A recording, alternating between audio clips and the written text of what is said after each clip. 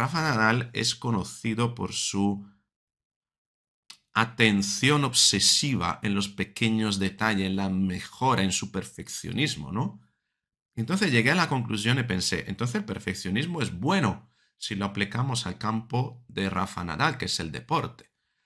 Entonces llegué a concluir, el perfeccionismo es malo en absoluto, o hay campos y, entornos en el que es bueno mantener ese perfeccionismo, porque Rafa Nadal, si no fuera tan perfeccionista en tantos detalles, no habría sido número uno, no habría sido el mejor tenista, posiblemente uno de los tres mejores tenistas del, del mundo, ¿no? De la historia.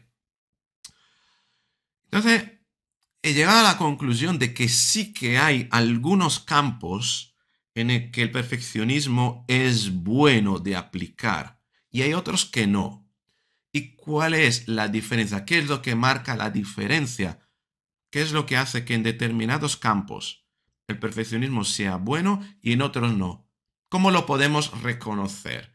Y la conclusión es que el perfeccionismo es bueno donde hay una repetición constante de las mismas tareas, funciones y acciones.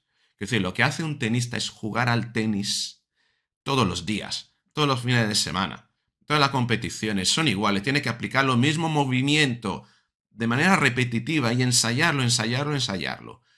No, las reglas no cambian, ¿vale? No, no, hay un, cambio radical de las reglas de juego de un año a otro, por tanto no se tiene que adaptar a un nuevo contexto, se tiene que adaptar a nuevos rivales para darse a nuevos rivales tienes que perfeccionar los movimientos, ¿no?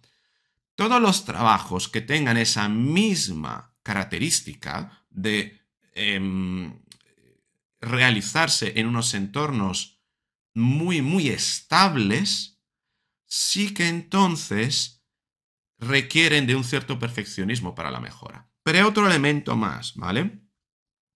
Que la gran mayoría de las actividades profesionales a día de hoy no tienen ni ofrecen ese contexto. ¿Vale? ¿Por qué? Porque vivimos en, eh, un, en un mundo que se llama VUCA. VUCA es un acrónimo de terminología anglosajona, V que tiene que ver con la volatilidad, ¿vale? La U de la incertidumbre, en inglés uncertainty, ¿no? Y, y por tanto incertidumbre C de complejidad y A de ambigüedad. Es decir, los mercados en los que se mueven a día de hoy las empresas, la gran mayoría de las empresas, son mercados altamente volátiles, inciertos, complejos y ambiguos, y donde la información va cambiando constantemente. Entonces, si esa información va cambiando constantemente, volvemos a ese modelo, ese cambio de paradigma del que hablaba al principio no le puedes dedicar mucho tiempo a tus inversiones antes de sacarla al mercado.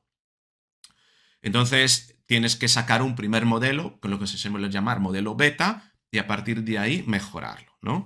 Em, y esto es, la a día de hoy, sucede en la gran mayoría de los negocios. Ahora, si alguien trabaja en un mercado donde a lo mejor las cosas son estables, muy estables, entonces sí que se puede permitir eso.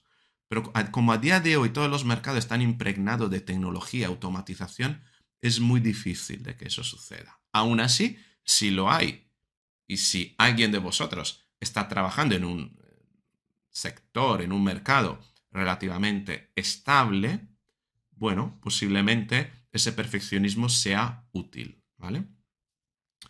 Em, por tanto, llego a esta conclusión que eh, el, perfeccionismo no es un elemento, digamos, eh, provechoso cuando te ves abocado, abocada, a tener que hacer muchas cosas por primera vez.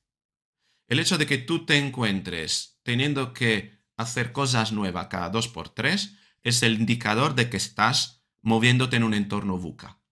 Ahora, si tú estás realizando tus tareas, eh, tus actividades profesionales de una manera muy repetitiva y ves que estás haciendo mm, casi siempre lo mismo y eso no cambia, posiblemente esa es la mejor demostración de que una actitud más perfeccionista es viable en ese sector mientras las cosas no cambien. ¿eh? Ese es el verdadero indicador por el que te puedes guiar para saber si ser perfeccionista o no ser perfeccionista en tu actividad profesional. Con esto he aclarado en qué momentos es eh, útil utilizar eh, el, perfeccionismo, es decir, hacer bien, muy bien las cosas a la primera. Y he aclarado también cuando lo perfecto se convierte en enemigo de lo bueno.